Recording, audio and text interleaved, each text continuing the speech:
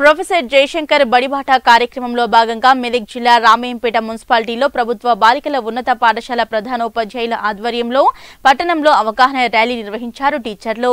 విద్యార్థుల ఇంటికి టీచర్లు వెళ్ళి విద్యార్థులను ప్రభుత్వ పాఠశాలలకు రావాల్సిందిగా సూచించారు.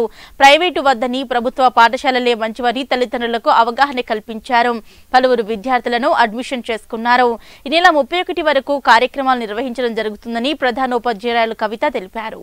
జిల్లా పరిషత్ బాలికల ఉన్నత పాఠశాల ప్రధానోపాధ్యాయురాలిని ప్రొఫెసర్ జయశంకర్ బడిబాట సందర్భంగా మా పాఠశాలలో మేము మరియు మా ఉపాధ్యాయులంతా ఒక మూడో తారీఖు నుంచి పదో తారీఖు వరకు ఎన్రోల్మెంట్ డ్రైవ్ సందర్భంగా రామాయణపేటలో ప్రతి వీధికి వెళ్ళడం జరుగుతుంది ఇంటింటికి వెళ్ళడం జరుగుతుంది. ఇందులో భాగంగా ఇప్పటి వరకు మేము ప్రైవేట్ పాఠశాల నుంచి ఎనిమిది మంది విద్యార్థులను చేర్చడం జరిగింది.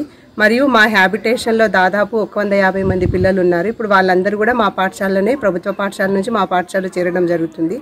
ఈ ప్రోగ్రాము జూ జూన్ ముప్పై వరకు నిర్వహించడం జరుగుతుంది. ఈ సందర్భంగా పదమూడవ తారీఖు నుంచి రోజువారీ కార్యక్రమాలు కూడా చేపట్టడం జరుగుతుంది.